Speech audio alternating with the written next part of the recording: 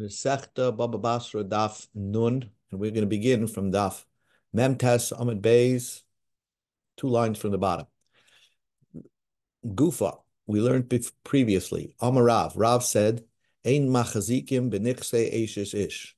A husband, anybody for that matter, cannot establish a chazaka of the possessions belonging to a married woman.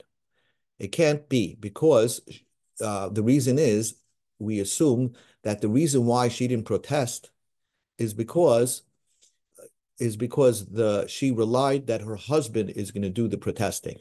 And therefore, nobody can have a chazaka on the possessions belonging to a married woman. So that's the opinion of Rav. Now we go to Daf Nun Amar Aleph. The Dayane Goyla Amri, the the Dayanim that lived in the in the diaspora, they said and who is the, the judges in diaspora, they said is Shmuel and Karna. Machzikin, a person could establish a chazaka if he bought a property from a married woman. He doesn't have to hold on to the purchase agreement forever. He could just hold on to it for three years, and after three years, he establishes the chazaka. So they argue in Rav. Amarav, Rav said, halacha. So Rav made an announcement. We paskin like the Dayane Goyla. So I, I paskin that you could make a chazaka. Wait a second. Didn't just Rab say that you don't? Amalei Rav Kahana Rav Assi Rav. Didn't Rav Kahana and Ravasi said to Rav, de Beimar say, did you retract your teaching, your your psak alacha? You said before that if a married woman, you can't make you can't make chazaka. Amalahu. So Rav answered, I didn't retract the, the there is I do agree that there is a time where you could make a chazaka. Mistavra Amri, because it's logical, uh, I agree logically that it could work with the case that Rav Yosef said. Rav Yosef said. Now, Rav didn't meet Rav Yosef, but the concept of that case that we learned before in yesterday's daf, that even Rav, who normally says ein machzikin ish, he would agree. In this case, you would, and and therefore what was the case of Rav Yosef? Rav Yosef says that if uh, someone had chazaka during the time of her husband, and then her husband died, so a guy bought a property from a woman, and then the husband died, right? And then after three years, so she was a widow for three years, he made chazaka, continued to live on that property. Then even Rav will hold that it's chazaka because she was married. She was she didn't have her husband, so she didn't have the excuse that the reason why I didn't make a chazaka is because my I thought my husband would do it, uh, because for three years after her husband passed away, this guy did made a chazaka. So in that case, even though he bought it when she was an Ashes he could establish a chazaka beyond that. Uh, but normally, Rav still maintains his opinion uh, that ein machzikin is, and he said that the Dayane Goyla were, were talking about a specific case uh, that uh, we discussed, the Rabbi Yosef's case. Now we go continue in the Gemara.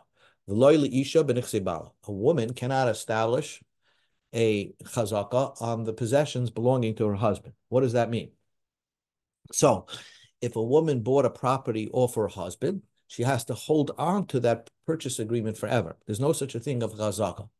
So the and the reason is because we could say we say that the reason why she was walking around the property that he, and he didn't protest because he has to has the responsibility to provide her food.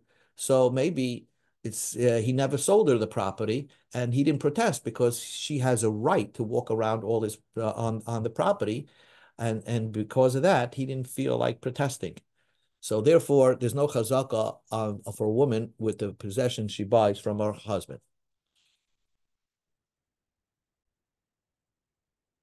So the Gemara asks the question, Pshita, it's very obvious this idea from the Mishnah, because if a woman has a right to walk around her husband's property, she can't never establish a chazaka that it's hers.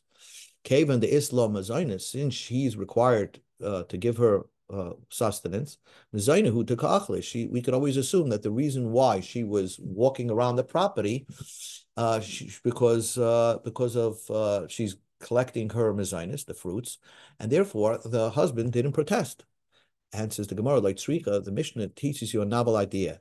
The yichud la ara achrita she was walking, she, the husband gave her another property from which to collect her mezainis. And she was walking around this property, and a, a property that's not designated for her mezainis. And therefore, I would think she could establish a chazaka as what she's doing on the other property. Uh, the answer is, but a husband doesn't mind if whatever property she walks around, um, even though he designated one property where she should get, collect her mezainis, but if she happens to walk around a, a, a property not designated for her mezainis, he certainly he also doesn't mind, and therefore, if he didn't protest, uh, therefore we could he could always say that's why I didn't protest, and and so and once he has an excuse why he didn't protest, then the woman can never establish a chazaka. So, okay, so you're telling me that a woman must hold on to her purchase document if she bought something from her husband, but it will work. Haraya yesh. If she bought something off her husband, automatically uh, we will say that uh, the sale is valid. So we ask her, "What are you doing on this property?" She says, "I bought it from my husband, and here's the document that I I, I purchased it." Says the Gemara, but there could be a reason why the husband agreed to sell the property to his wife because he felt that the, his wife was stealing money from him, and therefore he pretended to sell the property to her, to her, in order to get back his own money that she stole from him. So maybe the sale is invalid. Lema, let us say, that the reason why he sold the property is just to get back his own money and to reveal that she was stealing money from him. So we should invalidate the sale. And some some people say that yes, that would be an invalid sale. That's a good reason. But Shamat Nay, wouldn't you decide from our Mishnah that the opposite? Someone sells his field to his wife and she has the document showing that she bought it off her off her husband. Konsa. She acquires the property. We don't say like who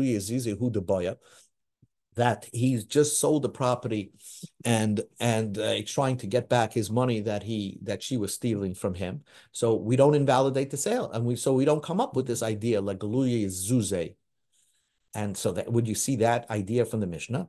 Answer the Gemara, Really, a Mishnah would hold you invalidate every sale to a wife. But Ema, Haraya yesh matana. When could a woman keep her the field that she that she got from her husband if she proved that she got it as a gift from her husband? If she got it as a gift from her husband, then we then we can say that the husband obviously uh, gifted it to her, and she has proof of that. And there's no other excuse why he would do such a thing unless it's really her property. Amalei Rav Nachman Rav Huna. Nachman said to Rav Huna,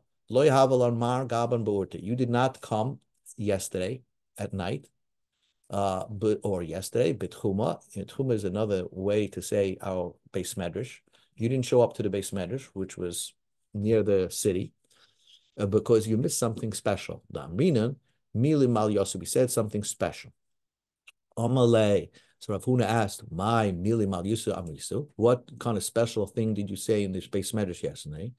So Rav Nachman answered, we learned yesterday, if you sell a field to your wife, Kansa, she acquires it, and we say, even that we don't invalidate the sale, that he just was selling it to her to show that, uh, to get his money back.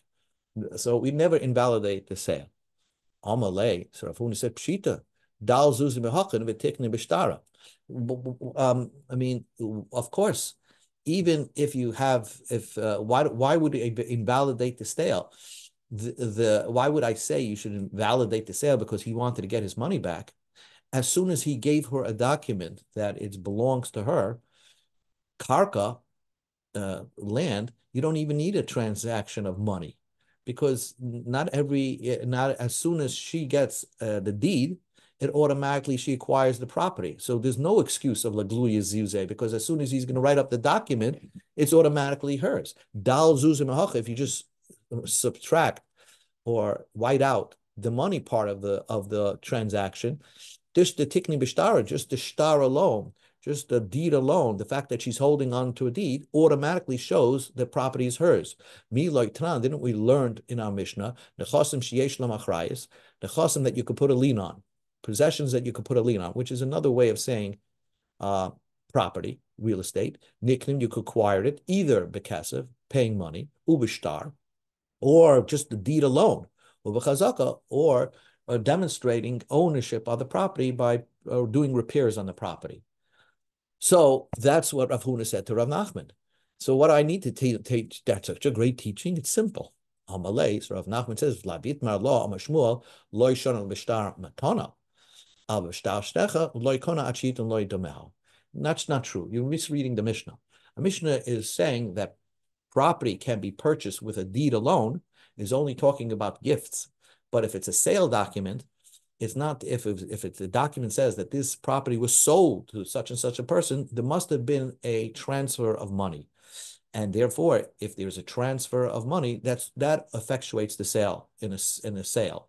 In a gift, you don't uh, you don't have money. It could be a shtar alone, but uh, uh, Shmuel said that shtar mecha you need money, and therefore, again, if there's a transaction of money, I would have thought uh, that the husband that we should invalidate the sale because the husband faked out his wife to to make this sale so he can get back his money.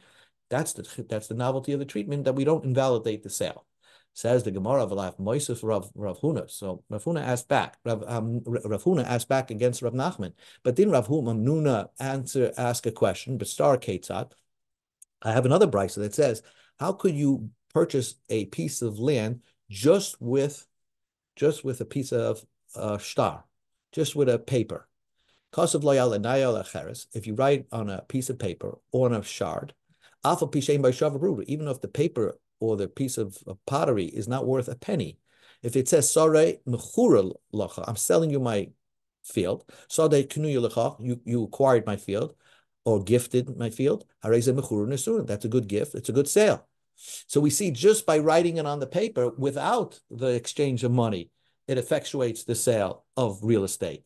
So Rav Huna is sticking with his gun. There's no need for money to trans to to trans uh, to ex be exchanged even by a sale. So the Gemara Rav Nachman answered, you, you're asking me Rav Hamnuna's question, but Rav, Rav Hamnuna answered the question himself. Rav Hamnuna answered that question. It's really if you sell any field, any field, you need an exchange of money to effectuate the sale. There, it's a the Brisa is talking about a specific case. He's selling a field because it was totally, you know, washed away it's an abandoned field. So the guy who's selling it doesn't care about the money so much. He really wants to effectuate the sale. Uh, maybe he doesn't want to pay the taxes on the property, whatever it is. So just by the shtar alone, it would effectuate the sale. But a normal sale of real estate needs an exchange of money. Rav Ashi Ama, Rav Ashi says uh, that that it says Rav Ashi gives another teretz brisa. That Brisa is talking about a gift. He he. It's actually the brisa is talking about a gift that he's actually gifting somebody the piece of property.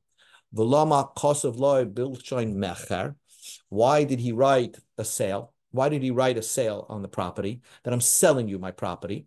It's talking about a gift, and a gift we learned before doesn't need any money exchange. But he wrote it that I'm selling you the property just to to to strengthen the recipient of the gift, so that if someone will take away the property, the gifter of the property will insure the property and pay the guy back.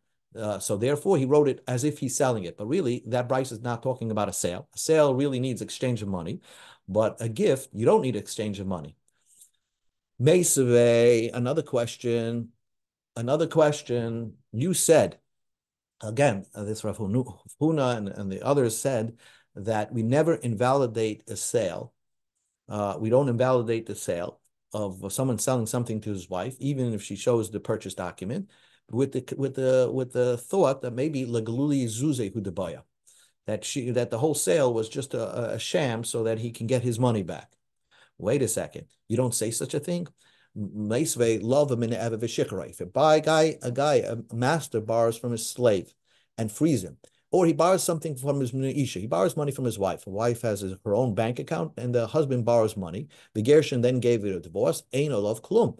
He doesn't have to pay her back. Why doesn't he have to pay her back? He took a loan. My tama. Don't we say that the reason is because the, the whole the whole loan was a sham because he suspected his wife stealing money, so he pretended he's going to borrow money from his wife in order to get his money back. So we do see that you say this concept of lagluye zuze. You do say this concept of lagluye zuze.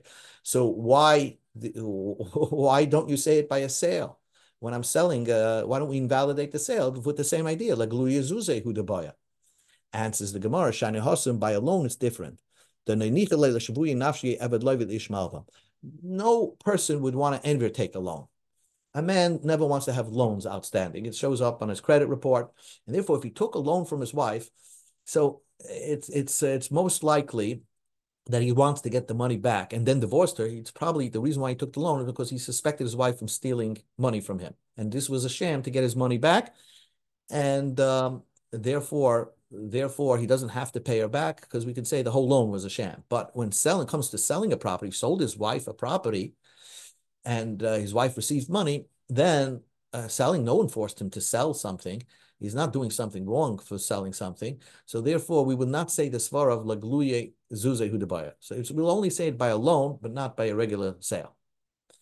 Zok the Gemara, new Gemara. Sholach Rav Hanun bar Oven, bar Oven. Rav Huna, the son of Oven, sent uh, sent a message to the yeshiva or to the base medrash.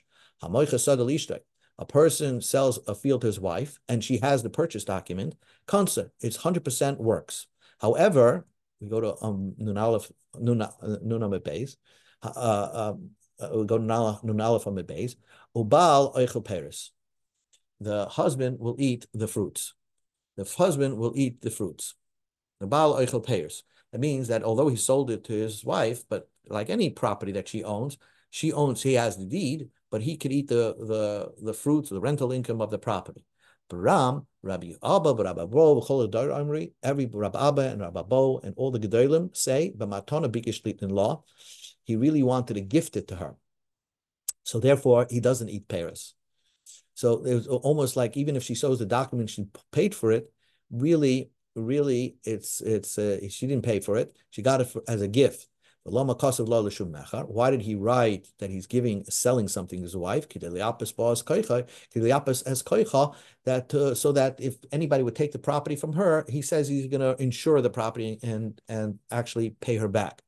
So therefore, Rabbi Abba and Rabbi Bo held that she would not eat, he would not eat the payros. If she shows that she has this document that it, that she owns this field that formerly belonged to her husband, so then she gets she she uh, does not eat the payros. And then, then the other Tana, Rabbi uh, Huna Baravin, held that she, he would eat the, the fruits of the field.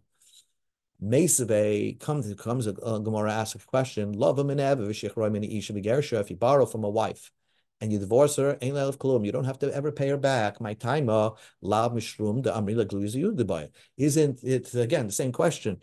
The whole loan was a sham and therefore he, he didn't he wanted to get his money back. So why do we say that the if someone gifts sells something to his wife? This is again a question against Rav Huna Bar Oven.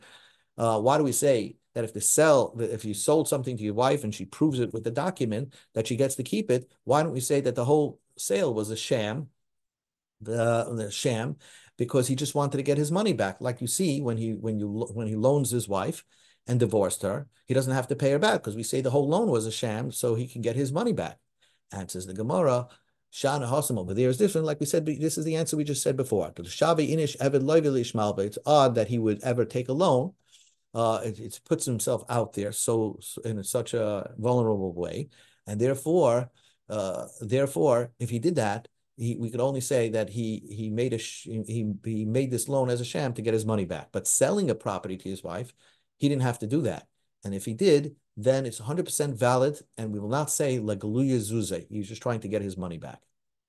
So we're going to continue over here and just a few more lines. Amarav, Rav Rav said, if someone sells a, a field to his wife, we will not invalidate the sale.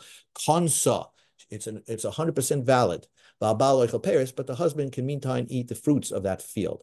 B'matana, but if he gifted something to his wife, konsa, it works. The, the husband will not eat the fruits of the field.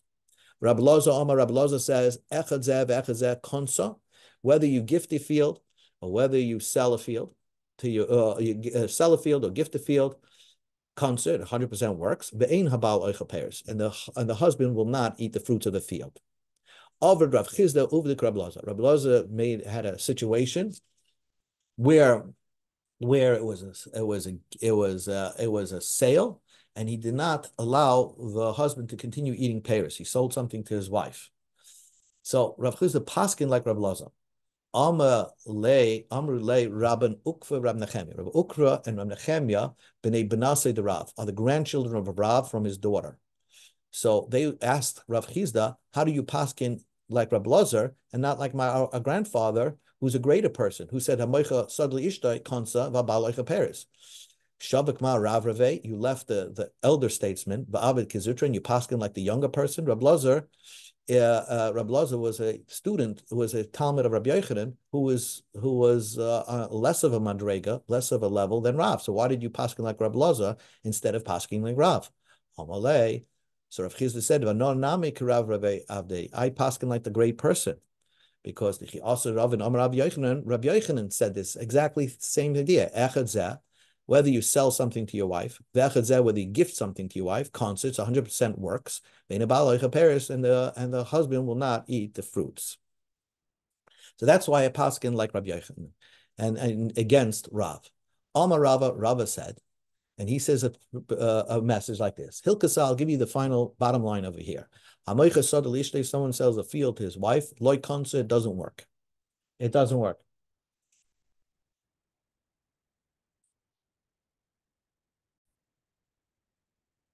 The Omar Rava, Rava said, Hilcha said the halacha is, someone sells a field to his wife, loy It doesn't work because apparently the Habaloicha payros.